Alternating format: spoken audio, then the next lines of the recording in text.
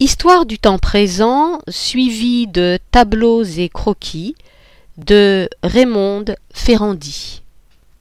Édition de la Maison Carrée, publiée en février 2021.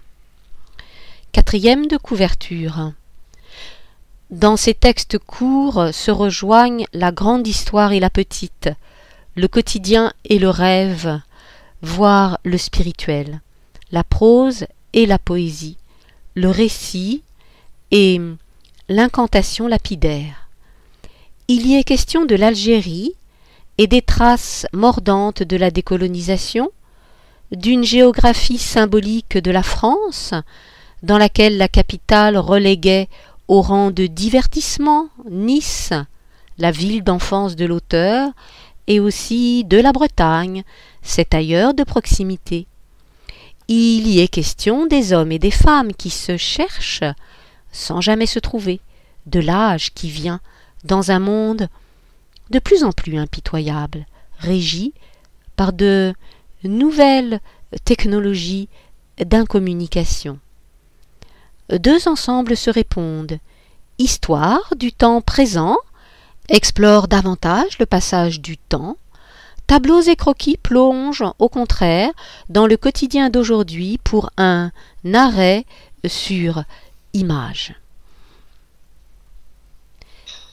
Diptyque.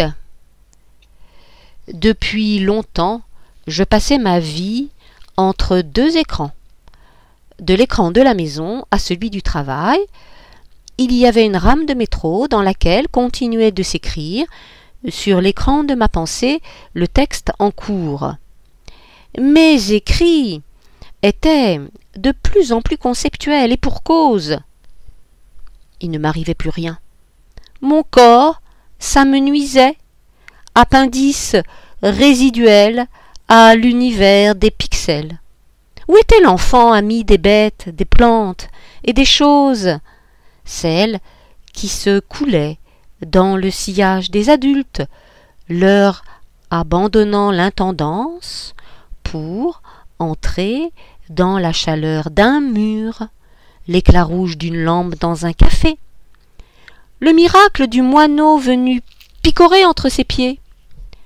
Pendant les sorties dominicales, je me cabrais avec les pins à l'appel de la tempête. Il y eut un enfant petit, un parent âgé. Il fallait être là. Alors, j'ai rejoint la grande communauté des esprits sans corps, qui est partout avec vous, tandis que vous n'êtes nulle part. Mes écrits suscitaient l'attention. On m'invitait. Je déclinais. Puis je me lassais, ne croyant plus vraiment qu'il y eût quelqu'un pour moi l'autre bout. Il a fallu cette consultation, le corps redevenu lourd, opaque, sous la palpation du médecin, examen à pratiquer en urgence. Alors je suis sorti. Un petit matin acide me giclait au visage, mes cheveux bougeaient, je restais en arrêt devant cette sensation extraordinaire. Printemps, soleil frais, feuilles qui frétillent. Les boutiques ont changé, la mode aussi, le marché s'est étendu et propose, comme dans les villages, des produits fermiers. Un bonimenteur vante les mérites d'un baume excellent pour tout. Des durillons au coryza, une petite chèvre caracole autour des fromages. J'ai envie de. J'avais retrouvé l'ancien monde. Pendant quelques jours, je n'ai plus eu d'enfant. La famille allait s'arrêter là, avec moi. La dernière, comme on disait. Hormis mes sœurs, il n'y aura plus au monde que des étrangers qui ne sauront rien du pays d'où nous sommes venus, des maisons où nous avons vécu, qui ne sauront rien de celles où, les dernières années, s'est déroulée, étiolée, épuisée la vie des parents. Un jour, je serai seul. Une fois de plus, j'aurais fait les choses à moitié. On ne peut décidément pas compter sur moi pour réussir quoi que ce soit. c'est ce que penseront les amis, les cousins, sous leurs airs de compassion.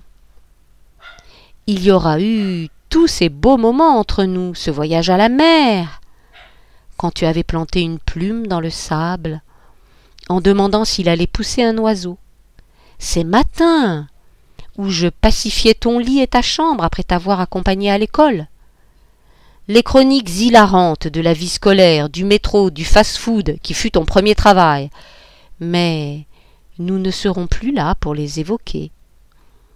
Il faudra entrer à nouveau dans ta chambre, où chaque objet crie ta présence, alors que tu n'es plus nulle part. Il y aura l'enquête, les papiers, tous ces gens qui vont me parler de toi, l'air accusateur pour certains, et qui ne te connaissent pas. Je devrais prendre l'avion pour ce pays où tu avais décidé de vivre. Je découvrirais alors ces rues que tu m'envoyais en photo, remplies jusqu'au ciel par la foule aux yeux bridés, les enseignes palpitantes à l'écriture mystérieuse, les lumières des tours. Je rencontrerai là-bas ceux qui fréquentaient la jeune femme que tu es devenue et que je ne connaissais plus. Il me faudra couper, comme le lézard, ma traîne de souvenirs, et m'en aller faire souche ailleurs, dans la grande famille de l'humanité. Et puis, il y a eu, de nouveau, sur ma messagerie, une ligne avec ton nom. Anniversaire. La nuit du destin. Elle marche dans la ville, cette ville qui a vu son enfance et ses premières amours, qui a vu aussi la vieillesse et la mort de ses parents. Elle descend le boulevard Gambetta, dépasse ce numéro qui l'affole encore, car c'est là qu'habitait son amoureux. La façade s'apaise aussitôt, rendue au présent, dans lequel d'autres boutiques ont renvoyé au néant celles d'autrefois. Le monde autour d'elle est devenu un gigantesque jardin d'enfants. Partout dans les cafés les bureaux s'affairent des jeunes gens qui en servent ou en dirigent d'autres. Certains tiennent par la main des plus petits sortes de mutants, offrant la paresse de, de diables ou de citrouilles. C'est vrai que nous sommes au soir d'Halloween. Elle est partagée entre la sympathie et l'agacement. Avons-nous besoin à Nice d'apprendre auprès des anglo-saxons comment faire la fête? Il est vrai que, dans son souvenir, les réjouissances de la Toussaint consistaient avant tout en processions religieuses auxquelles elle n'allait pas. Elle arrive à l'appartement qu'elle a hérité de ses parents, celui-là même où la famille a vécu au retour d'Algérie, depuis lequel elle est entrée à l'école, à côté du garage aux terres blancs et roux, son seul ami. La grisaille de cette bâtisse aux allures de caserne et des jours de classe était rompue par des moments enchantés, la lecture de Mickey enfoncé dans le grand fauteuil avec sa tartine au beurre, les vacances, quand ses sœurs venaient de Paris avec dans leurs bagages l'air subtil de la capitale, les anecdotes tirées de leur vie, incroyablement mouvementée et un regard euh, acéré sur cette ville des confins, réserve de vieilles belles qui la rendait tout à coup intéressante. Elle avait cru se consoler en réaménageant l'endroit avec les meubles et objets sauvés lors du naufrage du vaisseau amiral, l'appartement du boulevard Joseph Garnier, dans la grande carène blanche d'une maison ouvragée, où ses parents avaient décidé de s'installer plus au large quand elle avait huit ans. À la mort de sa mère, il a fallu défaire et disperser le paysage aimé, resté inchangé pendant cinquante ans. Mais c'était au contraire la tristesse qui s'était abattue sur elle les premières images après le départ des derniers locataires était celle d'un taudis. D'autant que ce couple belliqueux s'en était pris aux murs et aux portes, respectivement écorchés et cassés. Puis un gérant irresponsable, associé à un entrepreneur véreux, avait achevé, sous prétexte de rénovation, ce qui était encore en bon état. Son regard d'adulte avait identifié aussi dans les restes de l'époque la détresse qui fut celle des siens, entassés dans cet espace sombre, leurs effets et leurs souvenirs, dans des mâles. Elle persévérait pourtant, ne désespérant pas de retrouver, sous les alluvions des occupations successives, les temps heureux où ces murs avaient accueilli leurs premières vacances de Français d'Algérie, émerveillés de la mer et des palmiers après le désert de Constantine. Mais quelque chose ne tournait pas rond, comme si les objets étaient contre elle. Après le chauffe-eau noirci par un départ de feu, ce fut l'installation électrique qui rendit l'âme. Cette influence mauvaise semblait s'étendre aux personnes. L'entrepreneur, chargé de la rénovation, véreux certes, mais initialement en bonne santé, disparut à l'hôpital avec une maladie de cœur. Le tapissier, recruté pour réparer les fauteuils, mourut avant d'avoir pu y toucher. Il y avait pire. Le réveil, amené de Paris, retardait systématiquement.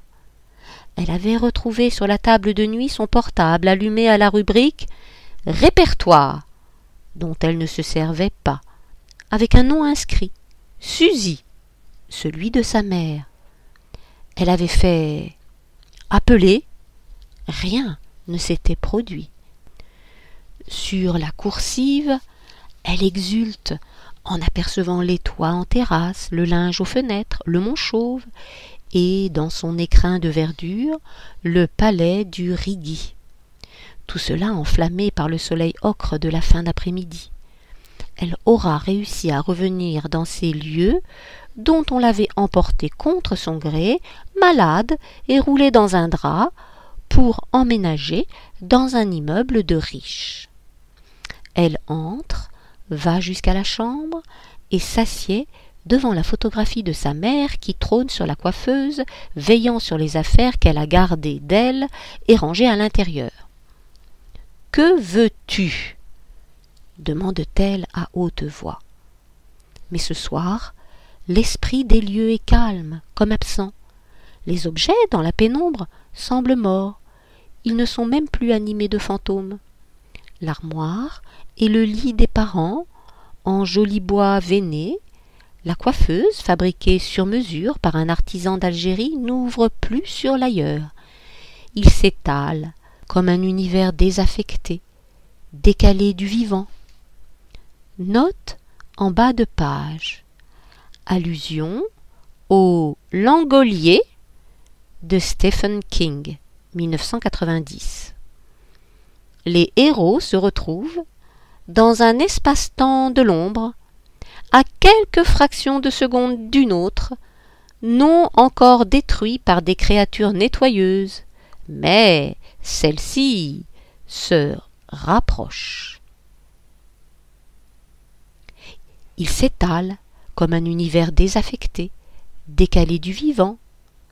Elle sort. Elle va vers la mer. Ici, tout va vers la mer. Les collines en pente douce, les rues, au fond desquelles se profilent les palmiers, et derrière eux ce bleu intense, remonté jusqu'à leur cime. Quand on allait à la mer, elle avait toujours cet espoir fou de décoller avec les mouettes, les avions, les nuages, pour traverser l'horizon. Toute son enfance tenait entre cette exaltation et un quotidien immobile. Dans sa vie d'enfant unique d'une famille respectable, un rayon de soleil traînant sur le bois doré des meubles, une odeur de fleurs était une fête. Plus tard, elle avait vécu au loin, elle était revenue, elle descendaient aux vacances passionnément, mais chaque fois l'espoir retombait, le mirage se déchirait, laissant place à la platitude du présent.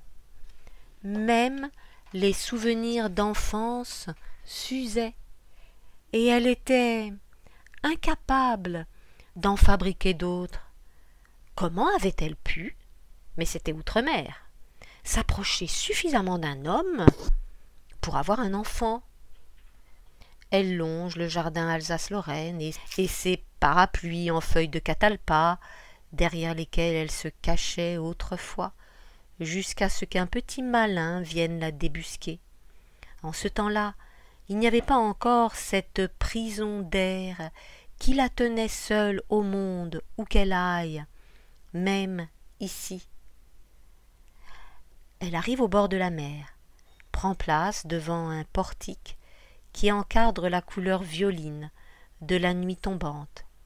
Une fois encore, comment traverser, comment s'arracher au présent et à la solitude, faire en sorte que le temps passe? Car c'était bien là son drame. Ses parents, ses amis vieillissaient, la mairie abattait des villas, mais sa pensée était intacte, ses souvenirs ne faisant que se retirer momentanément quand le choc avec le réel était trop brutal, jusqu'à son corps, qui restait coincé dans quelques crevasses du temps. Elle se ressemblait à elle-même, à peine ridée, le cheveu noir, à peine distincte de ce reflet d'elle dans la glace de la grande chambre, avec ses premières tenues d'adolescente qui inquiétaient tant sa mère. Non, maman, je ne te quitterai pas. Non, je ne grandirai pas. Je ne t'obligerai pas à vieillir, à mourir. Dussé-je me fossiliser dans l'instant, nous n'irons pas plus loin, encore plus loin de l'Algérie où était la vraie vie.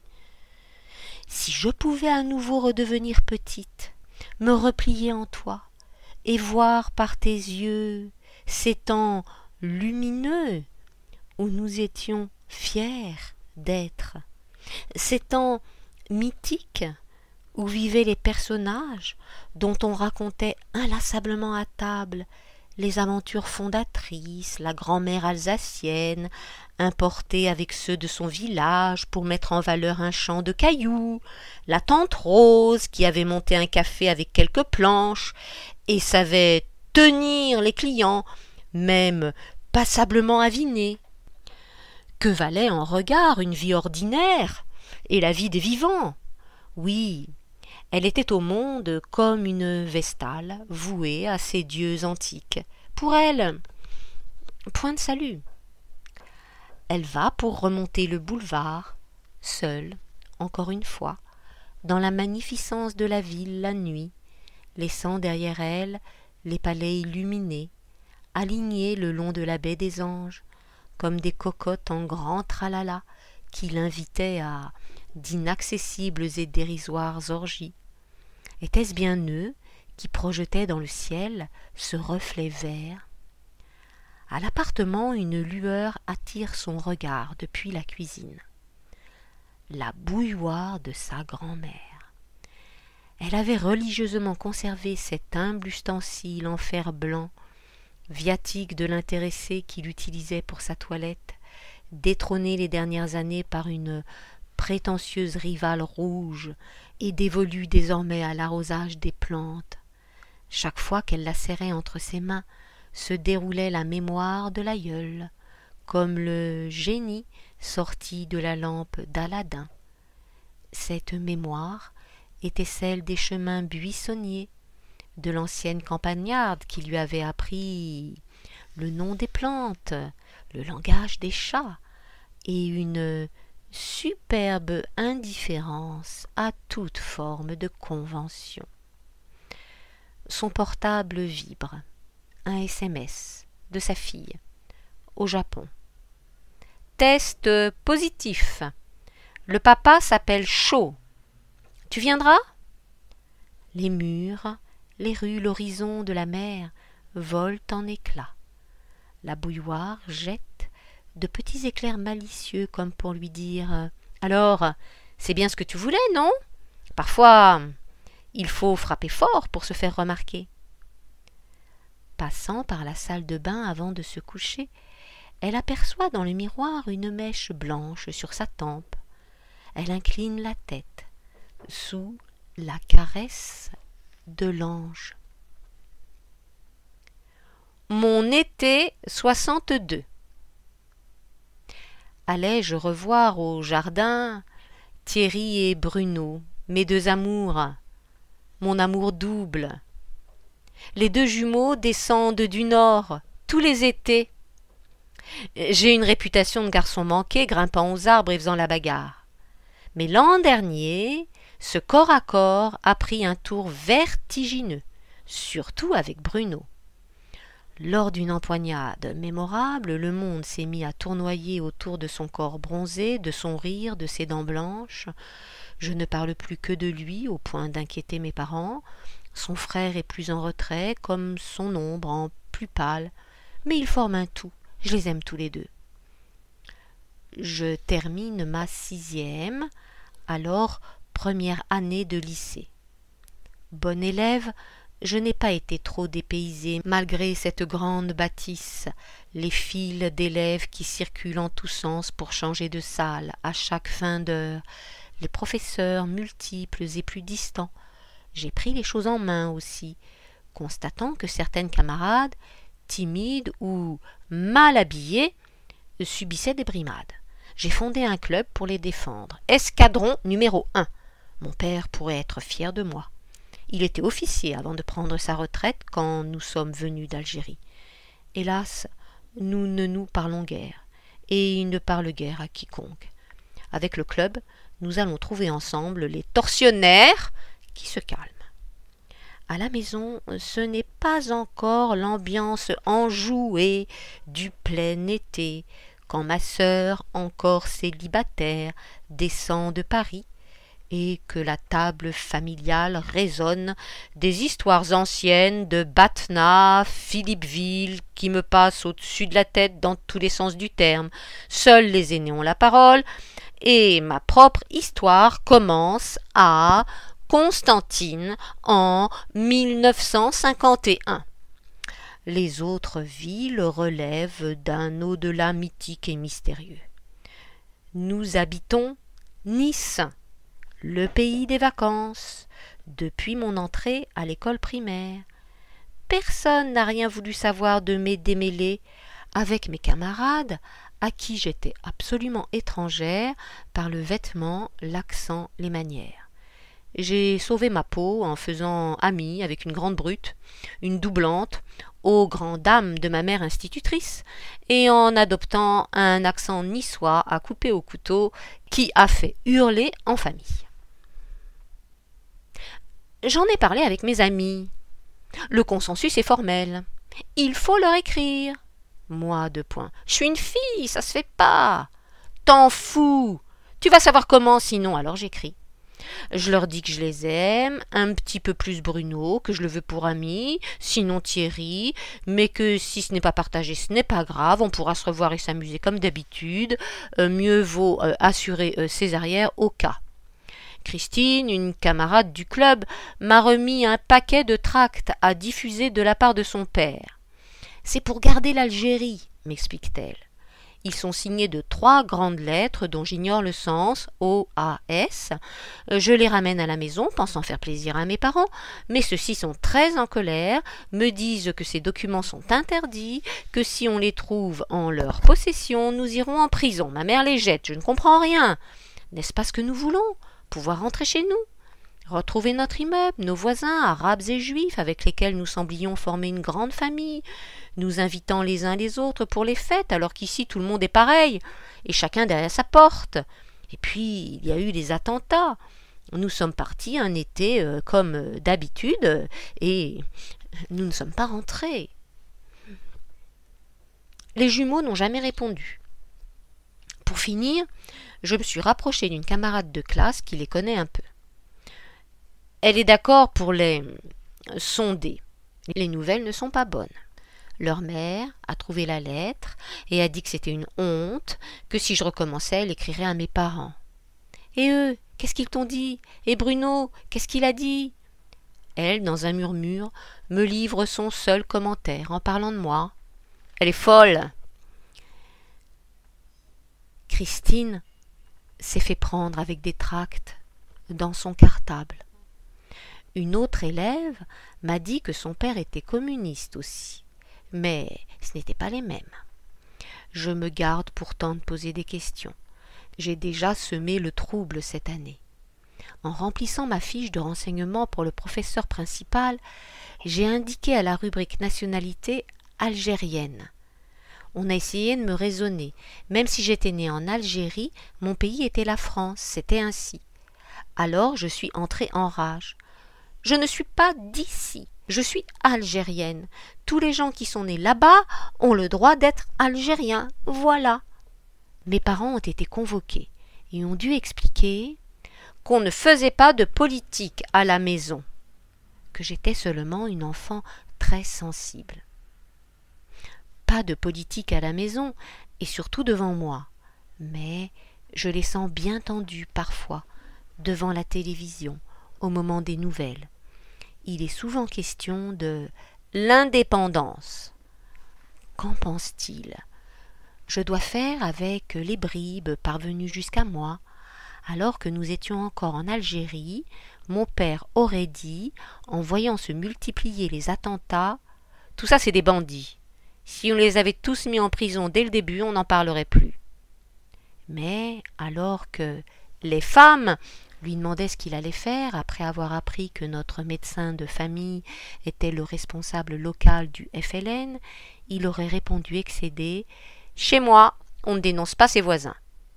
Ma mère trouvait ça normal que tous ses élèves connaissent leur propre histoire et développait, en sus du programme, l'histoire de l'Algérie avant la présence française, insistant sur le fait que les Arabes et les Kabyles étaient aussi de grands peuples. Elle fut estomaquée le jour où un inspecteur lui demanda si elle était communiste et si elle voulait la révolution. Je perds du sang pour la première fois. Maintenant tu es une jeune fille, me dit-on. Me voici donc de l'autre côté de la vie, laissant derrière moi cette enfance que j'ai tant haï, tant aimé, comme si on me l'avait arrachée de force. Celle d'ici, dans cette nature exotique, ce jardin de cartes postales, pourtant non exempt de dureté, derrière la pierre de taille de l'école, au milieu des filles à la bouche assassine, celle d'avant, entre l'or des rues et la fraîcheur de la maison. Où sont le vieux marchand enturbané qui me donnait tous les jours un beignet et que j'appelais grand-père, car il plaisantait beaucoup avec ma grand-mère, en demandant combien de beignets il devrait donner pour l'épouser.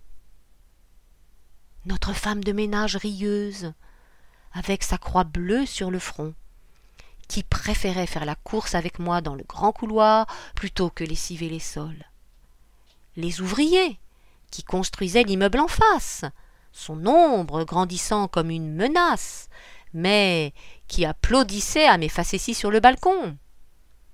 Il y avait aussi, pourtant, les odeurs et les cris par la fenêtre. Nous habitions au-dessus du commissariat. L'année se termine. Heureusement, je collectionne les prix, ce qui fait un peu oublier les bizarreries de mon comportement la guerre des tracts s'estompe au profit de celle des tenues d'été et des crèmes solaires à se mettre. Ce terrain-là n'est pas le mien. Ma sœur aînée, institutrice elle aussi en banlieue parisienne, est arrivée. Elle est sur le point de se fâcher avec ses collègues et amis de gauche. Ils ont enfin cessé de la voir en colon, installés dans une grande propriété à la campagne exploitant les fellahs. Mais ils soutiennent le FLN. Plusieurs étaient porteurs de valises et ne comprennent pas qu'elle condamne les attentats en ville qui visent des civils et lui ont fait perdre plusieurs camarades d'enfance. Moi, je demande. S'il y a l'indépendance, est-ce qu'on voudra bien que je sois algérienne? Les jumeaux ne sont pas revenus au jardin. Tandis que mes amis de classe sont à la plage, nous regardons à la télévision les images triomphales de l'indépendance. Plus un seul Français dans les rues. Puis, on entend parler de massacres à Oran. Les bateaux déchargent des hordes de vagabonds, avec lesquels mes parents ne veulent rien avoir en commun. Les pieds noirs. Moi-même, j'ai honte de cette appellation qu'on m'applique parfois et qui semble dire qu'on a les pieds sales. Je comprends enfin. Mon père a eu raison de vouloir notre rapatriement avant l'heure, au désespoir de ma mère, de ma grand-mère, de mes sœurs. Je ne serai jamais algérienne, c'est ainsi. J'ai longtemps continué tout droit ma vie de lycéenne, puis d'étudiante et de française, sans me retourner. Il ne fait pas bon avoir deux amours. Paris, cinquantenaire de l'indépendance de l'Algérie, été 2012. Le paillasson. C'est bien toi. Sur la ligne émetteur de ma messagerie, ton nom germanique, un peu long, réveille en moi le jeune homme, au visage mince, chaussé de fines lunettes et encadré d'une cascade de cheveux blonds. Dans les années soixante-dix, les garçons ne craignaient pas de laisser couler leur féminité sur leurs épaules, au contraire des petits coqs d'aujourd'hui, avec leurs crêtes durcies à grand renfort de gel.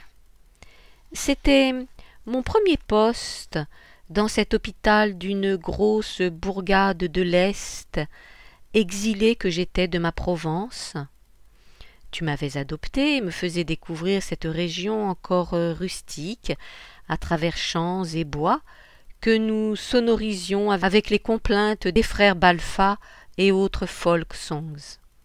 Allais-je, une bonne fois, sortir, de ma famille en devenant, comme tout le monde, une fille qui a un copain, tout en laissant là-bas, en dépôt, dans le plus grand secret, mon regard d'enfant.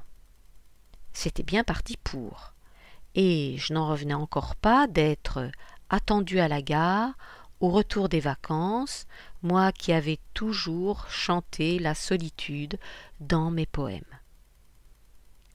Las, notre aventure s'échoua.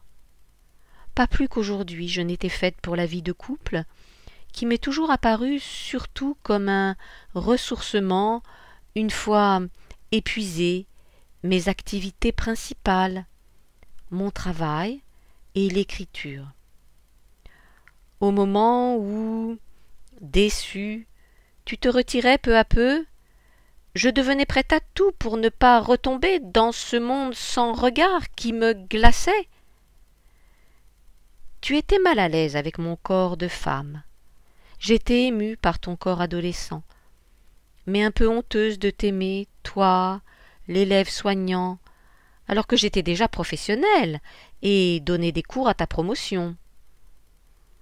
J'appris par d'autres que tu avais trouvé du travail, dans la ville voisine, que tu t'étais marié avec une enseignante. Aujourd'hui, si j'en crois ton mail, tu es formateur et parcours la France pour animer des stages. Moi-même, j'interviens souvent en formation. Il y a peut-être quelque chose à faire ensemble sur ce plan. C'est ainsi, en tout cas, que j'ai l'intention de reprendre cette affaire, ensuite nous verrons bien. Tu as pensé à moi, dis-tu, en passant par cette ville du Sud pour une mission, et tu as cherché sur Internet. Drôle de façon de se souvenir, quarante ans après. De mon côté, je n'ai jamais oublié ces moments d'allégresse et de désespoir. Ils ont pris place parmi d'autres, qui ont pareillement fait se succéder espoir lumineux de la rencontre et séparation. Retour à ce qui semble être pour moi l'ordre établi. À croire que je ne suis pas faite pour le bonheur, ou du moins pas pour celui-là. Au point que je regarde maintenant ces moments parmi les premiers, quand j'y croyais encore, avec une sorte de tendresse comme les prémices de mon destin ultérieur. Tu as perdu tes cheveux et coupé le peu qui reste, si bien que de rares friselis ponctuent ton crâne désormais chauve. Les fines lunettes sont toujours en place. Je crois voir entrer un notaire. Tu as toujours ton petit rire euh, pour tenir à distance les choses essentielles. Nous évoquons en badinant nos parcours respectifs et construisons de façon très professionnelle un projet qui, ma foi, a de la gueule. Tu ne seras pas venu jusque chez moi pour rien. Tu n'as pas eu l'air trop surpris en me redécouvrant. Mais peut-être ai-je voulu éviter ce moment difficile en proposant de te recevoir? Ainsi, il n'y avait pas moyen de se tromper, et tu pouvais préparer un visage de circonstance tu m'apprends que tu vis séparé de ton épouse. Aussitôt la porte refermée et estompé le bruit de tes pas dans l'escalier, la masse s'abat de tout son poids. Comment ai-je pu, avec toi, chevaucher les talus gras, caresser les merveilles des potiers de la région, manger des crêpes sous les voûtes moyenâgeuses de la grande ville proche, m'allonger sur ton lit dans les mailles de ta musique? Comment ai-je pu retrouver plus tard tes boucles dorées autour d'un autre visage? Comment, dans un autre pays, en pleine guerre, ton carrosse des années soixante a-t-il ressurgi entre les mains d'un autre amour? Tout cela aussi disparu dans la tourmente de l'histoire et des sentiments. Comment ai-je pu garder, année après année, cette relique des retrouvailles avec toi en cet été de sécheresse de l'année 1976, au fond d'une valise, la jupe que je portais alors, et aujourd'hui t'accueillir comme si de rien n'était. Il ne manque jamais, en pareil cas, de bonnes âmes pour vous prescrire le bonheur. Mais chacune a son ordonnance. Pour les unes, il faut en profiter. La vie ne repassera pas les plats une troisième fois. Pour d'autres, il est devenu moche. Alors, il n'y a plus de raison pour souffrir. Personne ne semble comprendre que le plus difficile est bien de renoncer à sa douleur. j'ai toujours été une enfant triste. J'étais seule, mes sœurs aînées déjà loin, auprès de femmes tristes qui s'estimaient mutuellement responsables de leur malheur, ma mère et ma grand-mère. La seconde était une teigne, et la première s'était mariée, ceux qui n'avaient pas eu l'heure de plaire à sa génitrice, ulcérés par cette trahison. Mon père, militaire, était souvent absent, et fut-il présent, qu'il reculait jusqu'au dernier moment, le soir, son retour dans la cage aux fauves, ce qu'on peut comprendre aisément. Une fois là, il faisait tomber sa colère sur moi au moindre prétexte. Heureusement, il y avait des sauterelles à soigner et des chats à caresser. C'est alors que s'ouvrait un paradis de sensations folles, dans lequel je vivais intensément à rebours du monde humain dans lequel il ne se passait absolument rien. Chaque heure était riche d'événements sensoriels. L'âpreté des mois d'août, les galets, huilés par le crépuscule sur la plage qu'il fallait quitter, l'effervescence des grillons dans les ombres du jardin. Je croyais alors que tout le monde était comme moi, au moins les enfants, et que ma solitude était due avant tout au fait que j'étais entourée d'adultes. La déception viendra plus tard. Je fus pareillement une adolescente triste. En fait, j'étais tout simplement grave, à l'écoute de l'âme des choses. J'aurais bien partagé avec quelqu'un cette intimité, mais les garçons se tournaient vers des filles plus légères, dans tous les sens du terme. Une amie m'avait expliqué le mode d'emploi. Si tu veux que ça marche avec eux, tu ris, tu racontes n'importe quoi. Impossible. Alors j'étais triste. Qu'on me trouve triste. Les choses ne s'arrangèrent pas avec la maturité. Mais, exerçant le métier de psychanalyste et ayant fait mon apprentissage auprès d'un lacanien, je pouvais au moins faire passer ce côté rabat-joie pour un habitus professionnel admis dans certains cénacles. Il fallait par contre manœuvrer pour éviter les fêtes dans lesquelles je me suis toujours senti complètement égaré. Je ne sais comment, je réussis à partir en Afrique, à y gagner beaucoup d'argent et à y faire un enfant. Sur cet autre continent, les lois de la pesanteur semblaient différentes et je m'amollissais comme un fruit mûr. Mais le malheur ne pouvait me laisser trop longtemps la bride sur le cou. Une guerre civile vint clore cet épisode enchanté et je fus rapatrié. À la mort de ma mère, j'héritais des affaires de famille dont personne ne voulait. Pour faire oublier mes années d'enfant prodigue, je décidai d'endosser sans faillir mon rôle de dernière, me saignant pour garder la maison familiale et ses meubles, qui recelaient le souvenir de quelques instants de bonheur susceptibles de conjurer tout le reste. Qui recelait aussi le secret. Le secret de quoi? Je ne saurais dire puisque c'est un secret. Mais ces affaires pourraient peut-être me révéler un jour pourquoi les femmes de cette famille semblent condamnées au malheur. Ma voie est donc toute tracée. Comme le travail se fait rare, j'envisage de vendre mon appartement parisien pour retourner m'installer dans la maison familiale en attendant de rejoindre le caveau de famille. Le moment approche où nous devons nous retrouver pour animer le stage que nous avons concocté. Tu nous as déniché un commanditaire dans le sud, où tu as décidément des relations, en plus de tes accès d'hypermnésie. Tu connais un hôtel super sympa. Tu m'annonces la nouvelle sur un ton un peu égrillard, qui ne laisse aucun doute sur ce que tu attends. Et si je te plantais là, pour partir sans rien dire Pourquoi ne pas, au lieu de toujours la subir, devenir cette fois hum, auteur de la muflerie, à soixante ans? Et alors? Il faut un début à tout. Tant de choses me sont encore inconnues. Pourquoi faut-il que je sois entré ce jour-là dans ce magasin pour acheter un paillasson? Depuis longtemps, le mien euh, devenait idéal, comme aurait dit Rimbaud. Note en bas de page. Mon paletot aussi devenait idéal dans ma bohème 1870.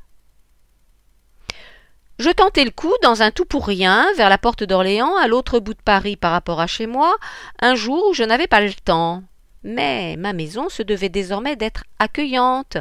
J'y avais trouvé de belles choses auparavant et je n'étais pas loin je fus d'emblée envahi par l'image d'un phare se détachant sur la mer bleue. Battement de cœur. Heureusement, un choix plus raisonnable se présentait, un modèle plus petit, bordeaux, avec des fleurs, qui irait beaucoup mieux avec mon immeuble parisien. La colère me prit. Ne pourrais-je, une fois dans ma vie, acheter ce qui me plaît au lieu d'être raisonnable? Bouleversé, je ne pris ni l'un ni l'autre. Quelques jours plus tard, je retraversai Paris pour revenir avec les deux. C'est pour ma maison en Bretagne, dis-je à ma fille, qui me regarda comme si j'étais justiciable de l'ambulance pour me conduire à l'hôpital psychiatrique le plus proche. Je remisais le paillasson délictueux. Pourtant, c'est bien elle qui, nombre d'années auparavant, m'avait fait découvrir cet endroit. Elle n'avait que faire du festival de cinéma engagé dans lequel je l'avais traîné et n'avait qu'une idée, malgré les quinze degrés en plein mois d'août, aller à la plage. C'est ainsi que je repris la voiture un soir, et que nous arrivâmes au coucher du soleil sur cette petite plage. Un endroit étonnamment doux, où la mer ondulait à peine, silencieusement, où des gens souriants étaient assis dans les derniers rayons, comme une figuration du paradis par un élève de Raphaël. Avant, il y avait eu ce vertige, en découvrant au bout de la falaise et montant vers le ciel la grande baie resplendissante, avec ses flots longs, imposants comme les marches d'un palais féerique. Je sentais bien là une porte, prête à s'ouvrir pour moi. Sur la grève, cette petite maison grise, comme un David, défiant le Goliath de l'océan, avec un carré de lessive en train de sécher, si l'on peut dire, car euh, battu par le vent et les vagues. C'est d'ici que je voudrais partir, murmurai-je. Lors des festivals suivants, j'avais timidement regardé les agences immobilières. Mais l'heure n'était pas à ce bout du monde. Ma fille, passionnée de manga, projette de s'installer au Japon et a décidé de m'emporter dans ses bagages, tantôt pour l'aider à monter son affaire, tantôt pour prendre soin de moi plus commodément, quand tu seras vieille, avait-elle précisé. Je n'ai rien promis, mais nous discutons souvent des mérites respectifs de Tokyo, la capitale, d'Osaka, provinciale, mérigolarde, à moins qu'il ne s'agisse d'Okinawa, cette capou nippone où mon entrepreneuse veut créer un bar. Les morts m'attendront bien un peu dans l'appartement du midi et au cimetière. Nous trinquons dans le jardin aux hortensias, toi, ma fille et moi. Ma mère aussi, peut-être. J'ai appelé la maison Suzy. C'était son prénom. C'était son prénom. Je ne suis pas allée dans le sud, et je ne te consolerai pas de ton épouse. Mais je te devais bien ça, à toi qui as fait repartir la grande horloge de la vie, même si son balancier m'a bouté un peu trop loin à ton gré ma fille s'envolera sans moi pour Tokyo. Résonne jusqu'à nous la pulsation des vagues, comme si je n'avais qu'à tendre la main pour sentir battre le cœur de la terre. Du bout du pied j'arrange, sur le seuil, le paillasson.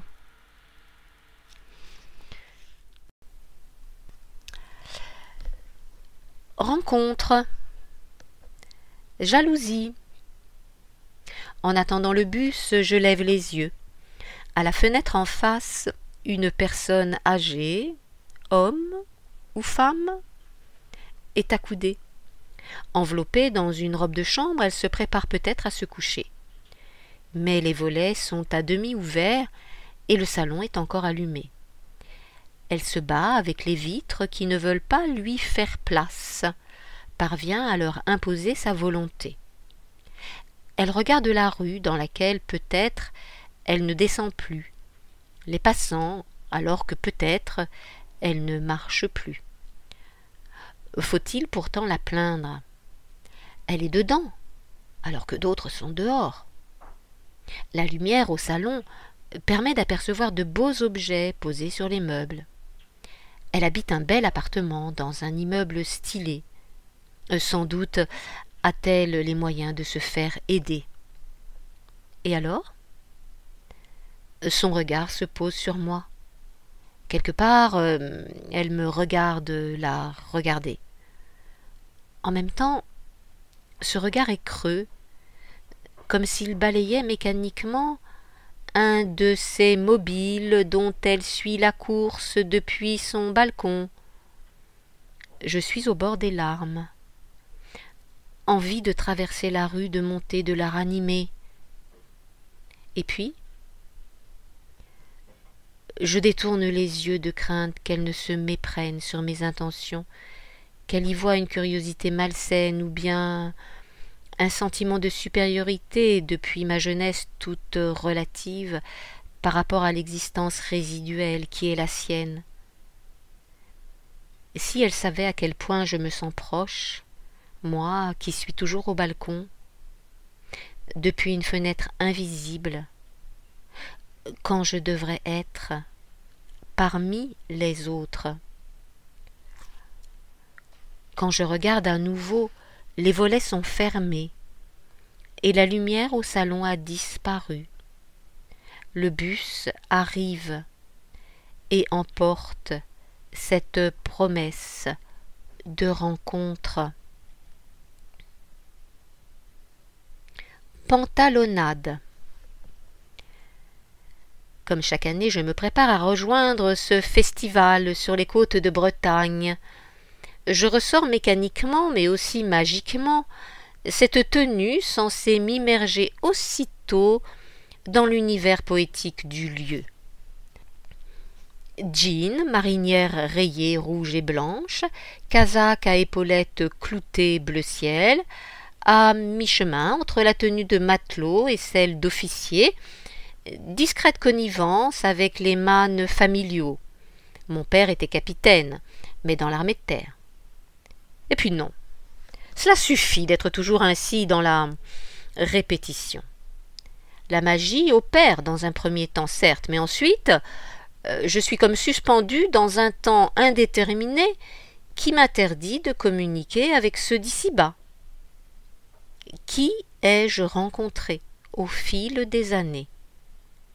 Je ne ramène chaque fois que l'émerveillement, à l'extrême rigueur un passager en autopartage, jamais le prince dont je rêve, tout droit sorti de la forêt de Brocéliande, et auréolé de ces brumes. Que dirait un participant qui m'aurait par hasard aperçu l'an dernier? J'ai l'air de ressortir de mon placard tout habillé, comme ces personnages d'horloge qui se présentent tels qu'en eux-mêmes à heure fixe. En plus, qu'est-ce que cette tenue de plouc? Il y a, diantre, des Parisiens à ce festival, qui n'auront pas un regard pour cette silhouette trop colorée, sans aucun des signes de ralliement au style de la capitale, beige, blanc, brun, élégance de passe-muraille. Je sors donc de façon volontariste, mon pantalon nouvellement acheté, couleur de pluie, et accessoire à l'avenant. Au moins, cette tenue m'obligera à inventer chacun de mes pas. C'est la tenue prévue pour la rentrée et le travail, où je dois être attentive aux autres dans une sorte de garde à vous mentale. Aucun danger de décoller sans m'en apercevoir. Tout de même cet assortiment me semble bien spartiate, et je substitue au dernier moment ma marinière éclatante à un banal sans manches blanc. Pour faire bonne mesure, j'exhume une chemise indienne de mes années quatre-vingt, d'un bleu sage, de Prusse, qui fait un peu blouse de peintre. Réussi. Je ne ressemble plus à rien, mais il est trop tard pour réfléchir encore. Sur place, c'est d'emblée un homme qui vient s'asseoir à côté de moi, un verre à la main en me demandant si j'ai vu des films. C'est un festival de cinéma. Il n'est pas mal de sa personne. Mais l'originalité de cette entrée en matière, associée à une certaine rugosité que je sens en lui, me repousse en mon fort intérieur. Je ne sais pas ce qu'il y a dans le verre, mais à parier, je dirais de la bière, comme pour se donner du courage un homme un peu pressé qui a repéré une femme seule, euh, sexe ou portefeuille? À mon âge, la question s'impose. Je lui réponds pourtant. Par politesse déjà, et en me disant qu'au-delà de cette rugosité, il y avait peut-être une rencontre possible. Mais ce que je lui dis ne lui plaît pas. Trop intellectuel, je présume, tel que je me connais. Si j'avais été décidé, il aurait mieux valu lui proposer de continuer au bar. Il se lève et s'en va. Un peu plus tard, c'est avec une femme que la parole s'engage tout naturellement dans la queue pour assister à une projection. Nous nous demandons si nous allons pouvoir entrer, car la file est déjà longue devant nous. Elle semble fine et intelligente, répandant autour d'elle un charme dans lequel je me sens à l'aise. J'ai envie de prolonger l'échange tout en déplorant qu'une fois de plus ce soit avec une femme que le contact ait pu s'établir, alors que je cherche une relation d'une autre nature. Mais décidément la grammaire des hommes m'échappe. Mon histoire ne m'a appris que la langue des femmes. Nous n'aurons pas le temps d'aller plus loin, car nous sommes arrivés au guichet où la foule nous sépare, chacun se précipitant pour avoir la meilleure place. En secouant les dernières pépites de sable au fond de la valise, après avoir reposé les vêtements dans l'armoire fraîche, je me dis qu'il me faudra sans doute encore changer de tenue l'année prochaine. Pourtant, quelque chose est déjà là. La toile bise, griffée, aux ronces pleines de murs, tachée d'huile de bateau, s'est chargée de tous les ciels du Ponant. Quand j'irai, moulé dans ce fourreau, animer quelques séminaires hauts en pensée, il y aura à mon côté le mousse, assis sur les rochers, la tête dans les étoiles. Il y aura ce secret entre nous. Tableaux et croquis. Les petits métiers. Le boulanger. Oh maman, un marchand de nuages. Ma fille. Cinq ans alors. En effet, sur l'étagère supérieure de grosses meringues attendaient le chaland, certaines euh, toutes blanches comme un ciel de beau temps, d'autres bistres euh, qui semblaient annoncer l'orage. J'aimais regarder la boulangerie-pâtisserie par la fenêtre de la salle d'attente quand nous allions chez le médecin juste en face la perspective de la place comme intemporelle, tirée d'un livre d'images semblable à ceux de mon enfance, avec ses arbres ouvrant leur feuillage en corbeille sur l'enseigne en forme de toque.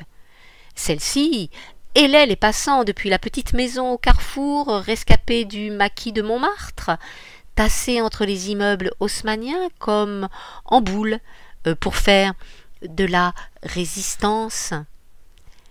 Les meringues sont toujours sur l'étagère, et la petite maison a résisté. Mais ce n'est plus le même boulanger, et une plaque, le festival des pains, l'a fait rentrer dans le rang. Je ne regardais plus trop les derniers temps, et aujourd'hui, il n'y a plus de médecin. Le plombier. Ils sont là, le père et le fils. Le vieux, avec un œil d'aigle, qui scrute déjà la maison. Le jeune, avec des rondeurs, euh, tantôt poupines, joues de gosse bien nourris, tantôt athlétiques, pectoraux et biceps de culturistes. Euh, je commence par montrer le robinet de la cuisine qui n'en finit pas de couler comme un éternel enrhumé. C'est normal, dit le jeune. Vous avez de vieux robinets il faudrait les changer. Des vieux robinets m'écriai-je. Mais je les ai fait installer en arrivant. Il y a quinze ans, suis-je obligé d'admettre, dans un souffle. Quand je lève les yeux, je surprends chez lui un reste d'expression entendue. Pendant ce temps-là, le vieux s'active dans les toilettes, où sévit une perpétuelle odeur de putréfaction. Peut-être que la sortie au niveau du toit est encrassée, déclare-t-il. Alors l'odeur rôde, elle ne sait pas où aller. Sa voix enfle, accompagnée du geste comme celle de l'exorciste évoquant le malin. Reste la baignoire bouchée.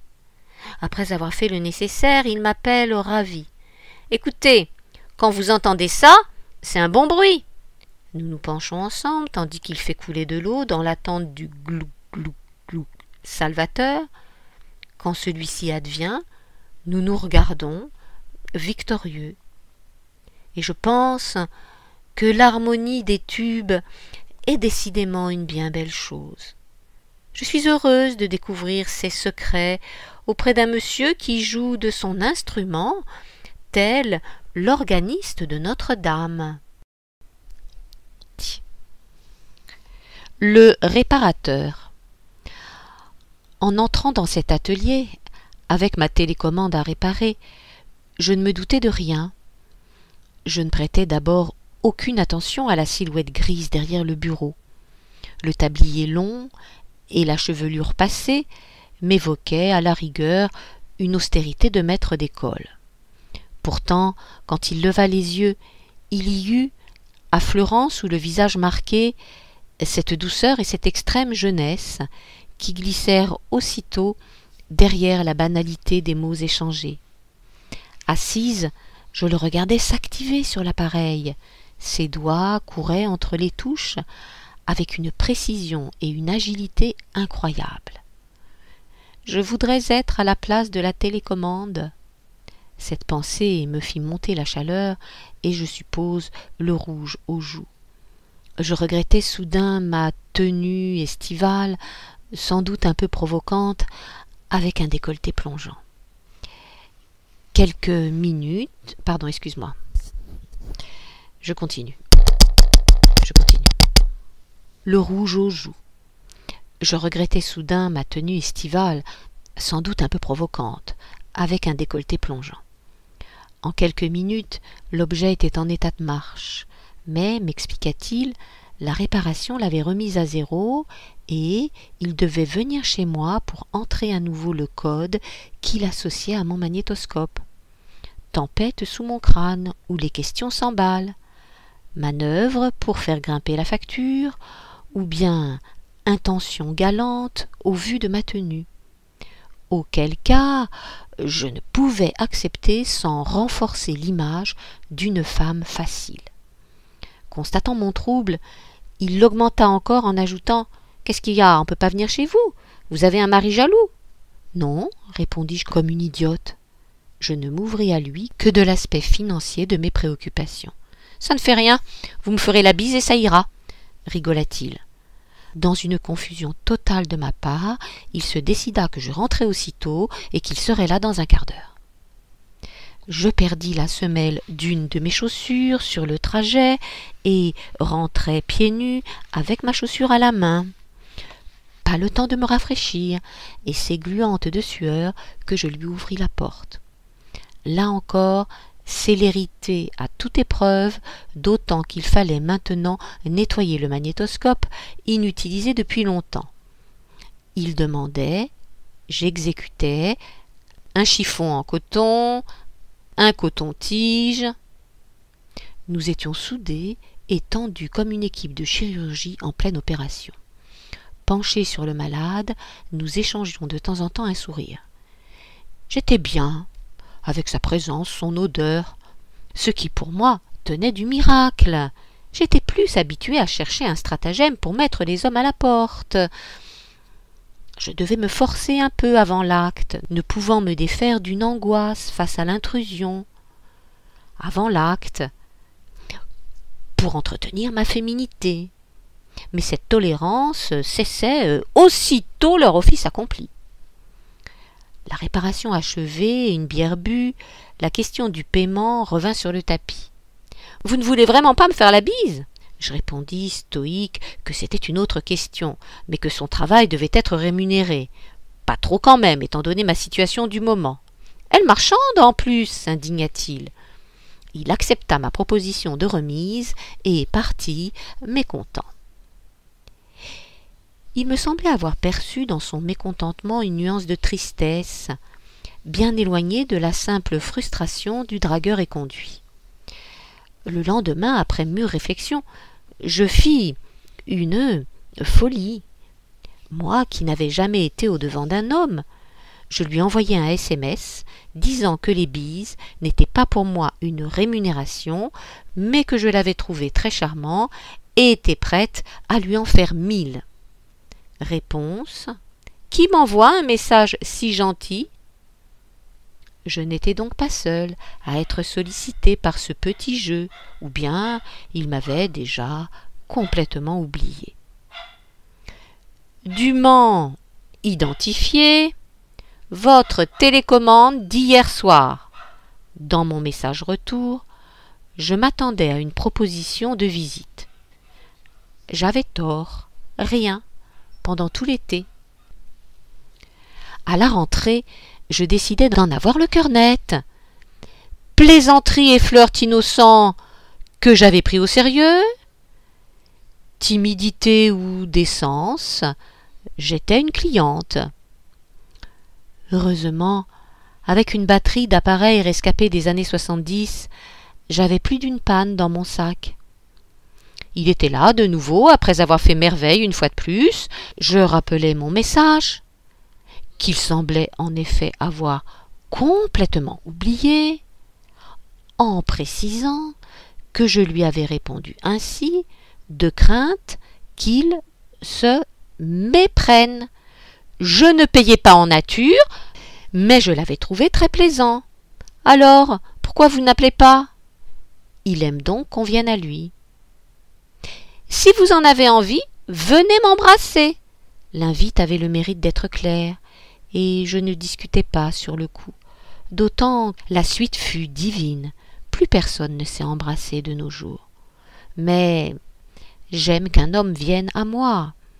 Il me manquerait toujours quelque chose avec lui. Je fus remercié par SMS de ce moment très agréable. Il fut convenu qu'il me ferait signe dès qu'il aurait un moment entre deux rendez-vous sur la pause déjeuner ce qui semblait une gageure, car il était très pris, et les demandes arrivaient de façon imprévisible. Révolte féministe de principe, mais bien vaine en pareil cas, avais-je le choix si je voulais le revoir?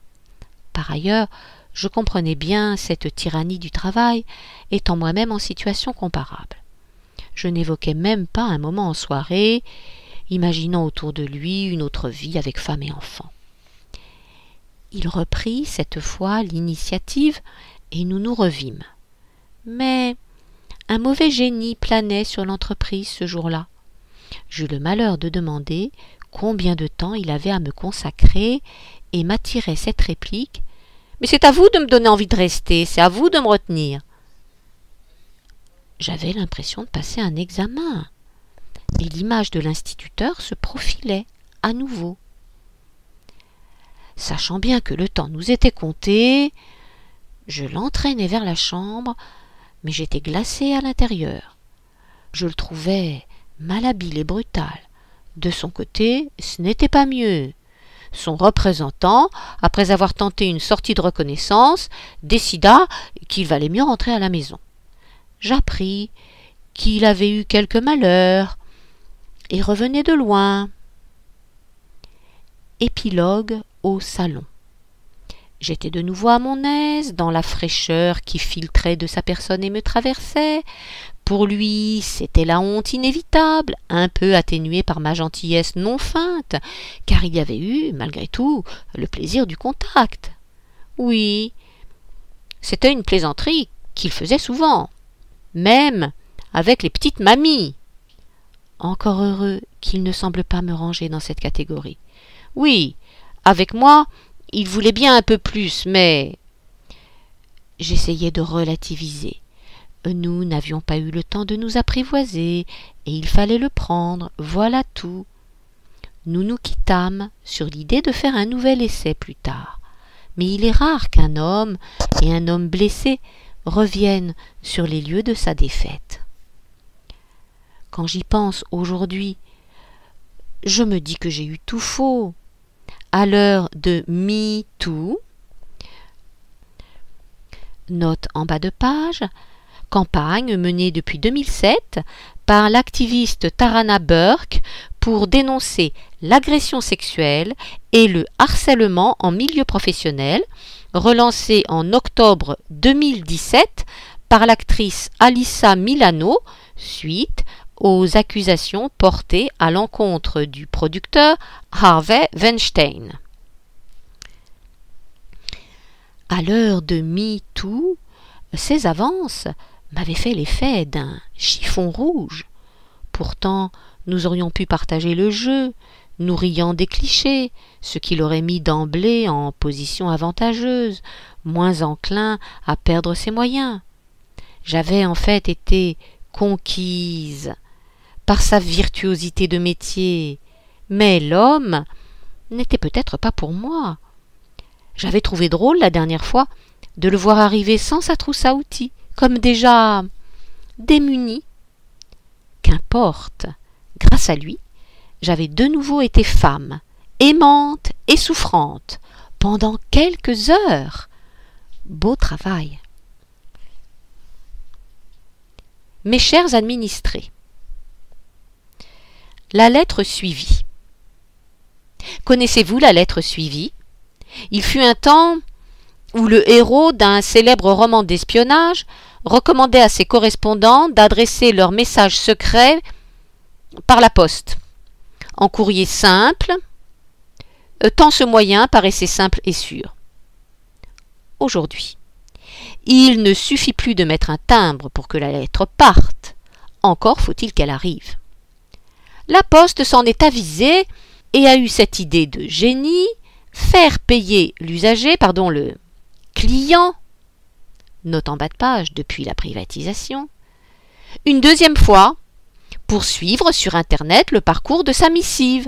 Ainsi saura-t-il si elle est arrivée ou pas. Sans réponse à une requête adressée aux impôts d'une lointaine commune, j'entrepris donc de rechercher ma fragile messagère. Première déconvenue. Le numéro délivré par l'automate est déclaré invalide par le site dédié. Je m'en fus de ce pas à mon bureau de poste, persuadé que des agents débrouillards et solidaires comme autrefois allaient sans tarder pister la fugitive. Que nenni sans que quiconque ait même essayé, un formulaire de réclamation me fut remis. Deuxième déconvenu, les rubriques proposées pour le destinataire, les mêmes que sur le site, indiquaient particulier ou entreprise de service public, point. Je remplis dans je ne sais plus bien laquelle la ligne non, N-O-M, en me disant que si ce document était lu par des humains, on pouvait s'attendre à ce qu'il fasse preuve d'intelligence. Le site, quant à lui, refusait obstinément d'envoyer le formulaire si je ne remplissais pas la ligne prénom. Hélas, je reçus, en un temps record il est vrai, un courrier m'indiquant Les renseignements transmis à ce jour ne permettent pas de vous apporter une réponse on m'invitait à contacter un conseiller clientèle, à un numéro surtaxé. Prenant le mort aux dents, je me rendis jusqu'à la trésorerie concernée pour constater que mon envoi restait introuvable. L'émotion me saisit à l'idée que je me trouvais peut-être là, au centre d'un triangle des Bermudes, dans lequel avait disparu mon radeau de papier. L'aventure est devenue si rare dans nos vies. Aussi, je suggère à la poste cette dernière idée prévoir que le client puisse, moyennant un supplément bien sûr, acheminer sa lettre lui-même. La retraite. J'ai toujours été quelqu'un d'organisé. Aussi, dès mes 25 ans, commençai-je à faire le point sur ma carrière à la stupéfaction de l'assistante sociale qui me reçut. Déjà deux périodes de chômage, il ne fallait pas perdre le fil, je ne commis qu'une seule erreur, je regardais sans aménité grossir le dossier contenant mes bulletins de salaire, ces grilles truffées de mentions cabalistiques, cette masse de papier inerte, qui n'évoquait rien de l'enchantement du monde. me semblait vraiment de trop. Je préférais garder de la place pour les livres, mes poèmes, les lettres de mes amis. Je m'en débarrassais donc à chaque déménagement, me disant que mes certificats de travail suffiraient bien pour témoigner de mes différents postes. Ainsi en fut-il jusqu'à l'âge de raison. Vers trente ans, non? Où je finis par admettre que ces documents pouvaient avoir de l'intérêt pour d'autres. Encore trente années, quelques périodes de travail, et bien d'autres au chômage plus tard, une aventure outre-mer en exergue. J'étais de nouveau en train de compter mes noisettes en prévision de l'hiver. C'était encore le temps béni où les usagers pouvaient être accueillis dans des points retraite. L'ambiance y était quelque peu houleuse, beaucoup d'autres que moi ayant, semblait-il, des lacunes dans leur parchemin, et des affiches bien en évidence rappelaient que toute violence physique ou verbale donnerait lieu à un dépôt de plainte. L'ambiance était souvent record et il n'était pas rare de trouver fermé le local bien avant l'heure. Nous étions alors accueillis par un panneau nous remerciant de notre compréhension, tandis que les plus désespérés proféraient des insultes en toute impunité, puisque hors champ administratif et tambourinaient à la porte. Les adresses changeaient souvent sans crier gare, comme si on avait voulu perdre en route la horde des importuns. Mais enfin, une conseillère adorable comprit ma situation en un clin d'œil, fit en sorte que mon dossier prit de la tenue tout à coup, et écrivit euh, tous azimuts pour demander les éléments manquants. Les choses semblaient donc bien engagées, et, à l'âge de soixante ans, je me préparais à décrocher, puisque je faisais partie des privilégiés qui avaient échappé à la réforme, prévoyant pour mes cadets de quelques mois deux ans de galère en plus. Mais, quand je fis une simulation, même en admettant que les périodes à compléter viendraient améliorer un peu le montant obtenu, je me trouvais décidément trop jeune pour mettre fin à mon activité dès à présent. Je rempilais pour dix ans. La menace, puis la réalité d'une liquidation judiciaire de mon dernier employeur en décidèrent autrement. Le temps pressait de régulariser ma carrière, et je m'attaquai en priorité, comme le voulaient les procédures, au dossier CNAB. Note en bas de page. Caisse nationale d'assurance de base. Depuis cinq ans, malgré les démarches multiples déjà entreprises, mon relevé n'avait pas bougé et je ne recevais plus aucune réponse. J'ouvris mon espace personnel sur Internet où figurait un étrange compte à rebours. Votre dossier sera régularisé sous deux mois. Suivait un nombre précis de jours. Bigre Quelle efficacité, pensais-je, un peu inquiète cependant, devant ce qui semblait annoncer une sorte de Big Bang terminal. En attendant, je repris mon dossier. M. P. A. Note en bas de page. Mutualité des professions agricoles. Lui aussi en souffrance depuis des lustres. Je relevais désormais du centre de Paris, mais la période considérée était gérée quant à elle par un centre de province. Comme on peut l'imaginer, les deux centres se renvoyaient mutuellement la tâche de régulariser les quelques mois manquants, d'autant plus qu'une première demande de régularisation avait été adressée par le centre de Paris à celui de l'Aube, alors que je m'étais illustré dans mes jeunes années à Reims. On voit tout l'intérêt d'apprendre les départements et leurs chefs-lieux à l'école primaire et même plus tard. Je souhaite bien du plaisir aux retraités de l'avenir, une fois cette entité administrative disparue, pour être remplacée par de nouvelles régions que personne ne connaît. Note en bas de page, nouvelle région, suite, à une fusion opérée le 1er janvier 2016. Le temps pressait, disais-je, au point qu'il fallait en parallèle déposer une demande de retraite. Nouvelle surprise.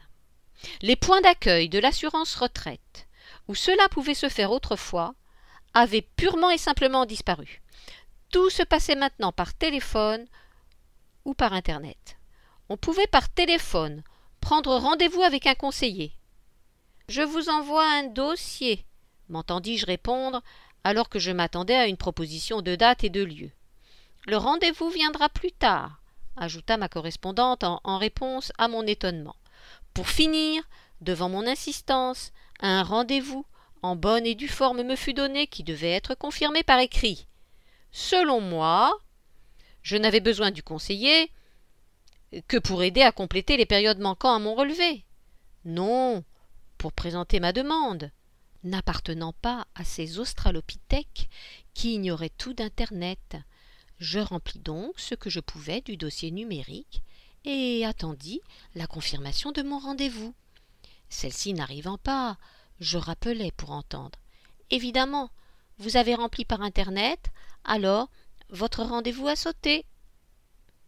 Ainsi appris-je que c'était une procédure ou l'autre, et qu'on ne pouvait pas les panacher. Désormais, rompu à Internet, je poursuivis avec la MPA. Là, le dialogue avec le site s'avéra plus musclé. On voulait absolument savoir quand j'avais cessé mon activité d'exploitant agricole. Mon cas n'étant pas prévu, j'avais été éducatrice dans un établissement accueillant des enfants d'agriculteurs. Je donnais ma date de fin d'activité. Sinon, impossible de passer à la page suivante. Mais je n'étais pas sortie de l'auberge, car on me demanda aussitôt de fournir les documents ad hoc exigibles du responsable d'exploitation. J'eus plus de chance avec les caisses de retraite complémentaires. Après avoir trouvé une demi-douzaine de fois le site en maintenance et avoir passé deux jours en salle d'attente lors de journées d'information pour préparer sa retraite, je demandai un rendez-vous par téléphone en me gardant bien de tenter nouvelle démarche numérique. Cette fois, on ne me la ferait pas. Mon interlocutrice m'expliqua d'ailleurs d'emblée les deux chemins possibles qui étaient de règle ici aussi. Revigoré par un entretien très clair avec un Homo sapiens sapiens et nanti de formulaires à l'intention de mes anciens employeurs pour leur demander de justifier de mes périodes manquantes, je me lançais dans une nouvelle campagne.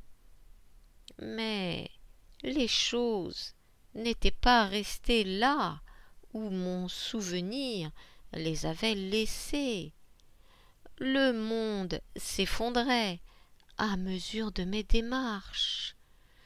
Nouveaux noms d'établissements et de responsables, hommage appuyé à certains d'entre eux sur le site de l'institution ce qui semblait indiquer leur trépas. Le ministère de la coopération portait disparu sur l'organigramme de la République. J'en retrouvais les bâtiments déserts et le jardin dévasté, passant la grille qu'on avait même oublié de fermer. Parfois, il n'y avait tout simplement plus aucune trace de l'employeur, sauf dans certains cas la mention d'une liquidation judiciaire.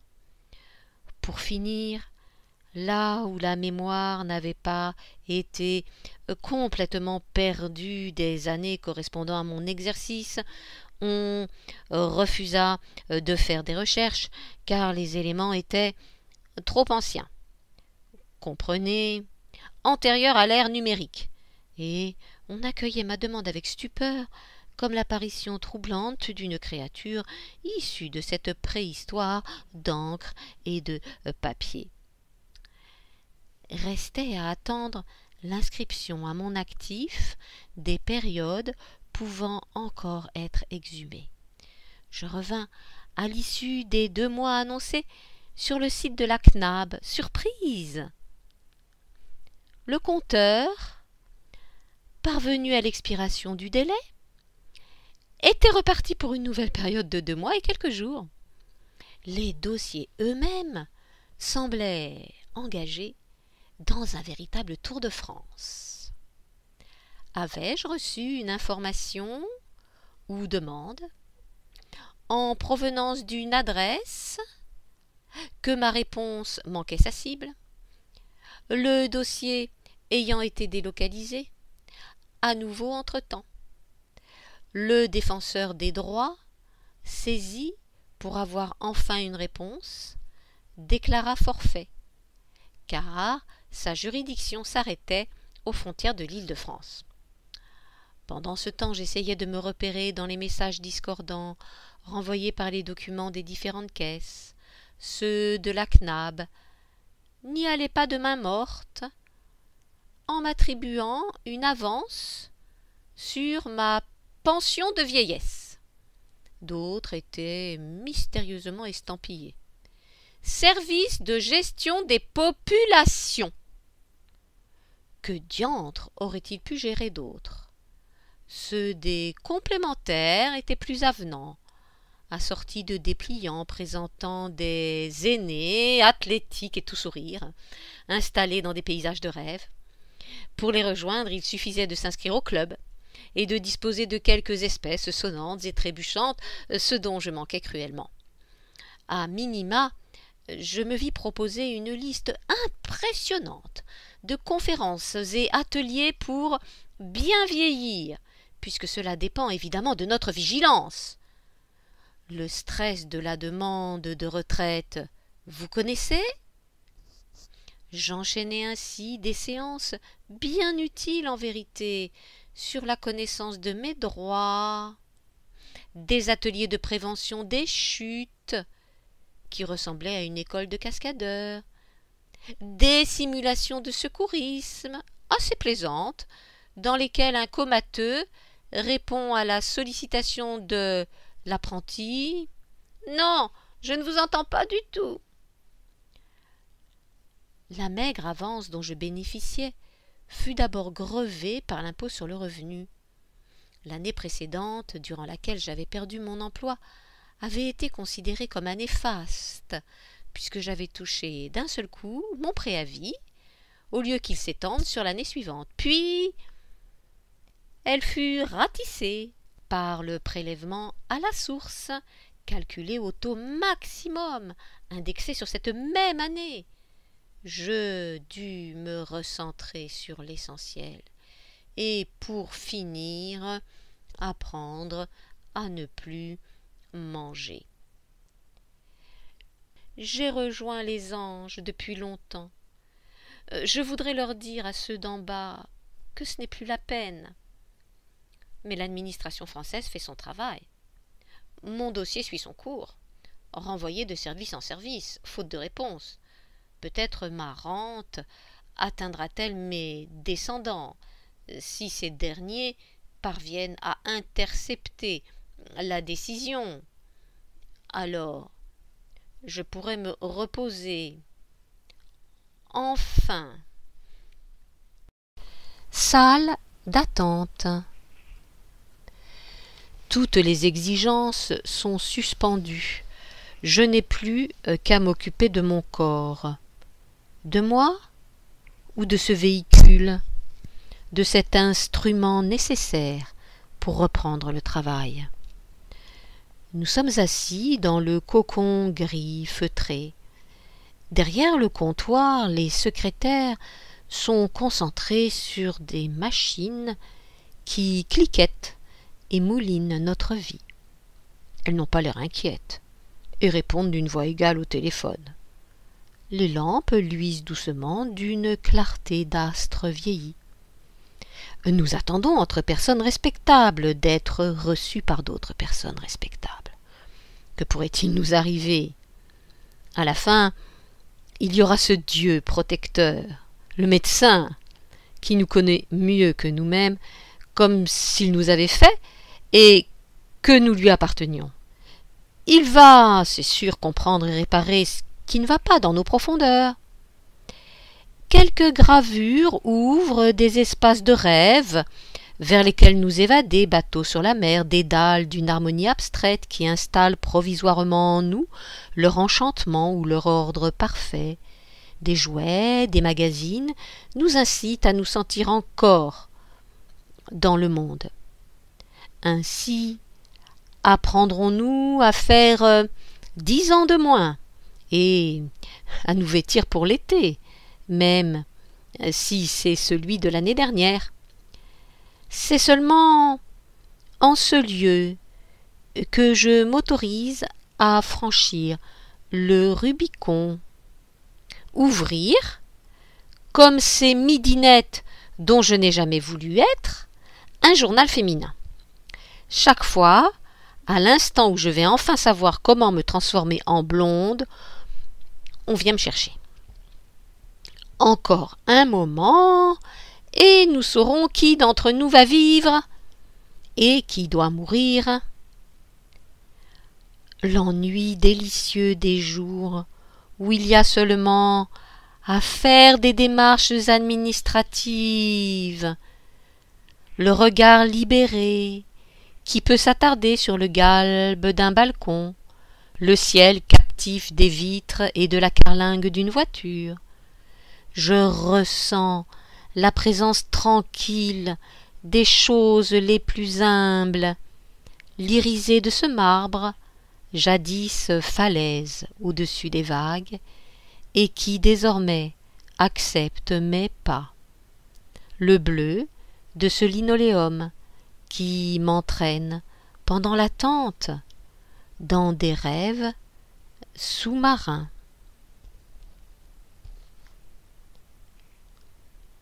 nous sommes installés pour la traversée immobile, livrés au flot furieux de nos humeurs, essayant de surnager. L'attente au rendez-vous urgent est cette poche d'existence hors du temps social. Elle a le sien propre, pulsation, qui seul à présent nous tient en veille sur notre chaise et qui égrène le temps de vie disponible. Il me semble l'entendre résonner entre les murs, à nous voir tous posés là comme des horloges. Quelques heures plus tard, je rejoins la rue égarée. Ça ira pour cette fois. Sur le motif. Au restaurant chinois. Le monde redoublé dans la glace murale. Les passants qui vont à la rencontre d'eux-mêmes et s'effacent dans le chambranle de la porte. Quelle meilleure image de la condition humaine? Entrée d'immeuble. Au bas d'une sorte de péristyle, lac de rêve du sol dallé de marbre. La vieille dame. Elle entre, voûtée, et le pas hésitant, dans un immeuble au grand portail sombre. La porte se referme derrière elle. Porte d'Orléans.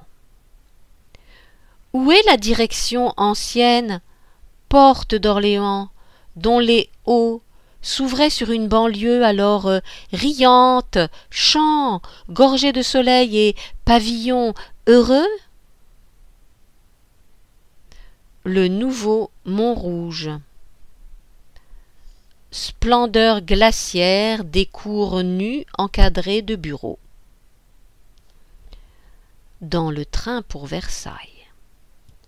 Une dame maigre, cheveux courts, au-dessus d'un long cou, impeccablement mise et coiffée, mange à petites bouchées une barre aux céréales on se demande si le tout va aller dans un estomac ou dans un gésier. Horizon de nuit. La route s'élance et rejoint la voie lactée. Nuit de Noël à Nice. Au fond de chaque rue, les collines étoilées comme un ciel, tombées de sa voûte. Fin du recueil.